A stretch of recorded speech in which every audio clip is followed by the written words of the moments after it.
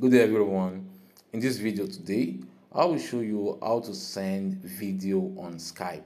So to do this firstly go to the contact which you want to send video to. Just click on this one. So if you want to send a video to this contact what I have to do is to click on the plus icon at the bottom left of the screen. Then click on media. You can then scroll down to any video which you want to send.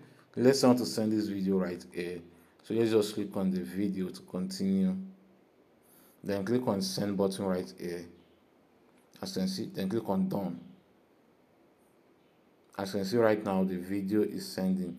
You just have to give it time for it to send. So right now the video has been sent. So that's all to do this. Hope this video help. Please give it a thumb up and don't forget to subscribe to our youtube channel. See you in the next video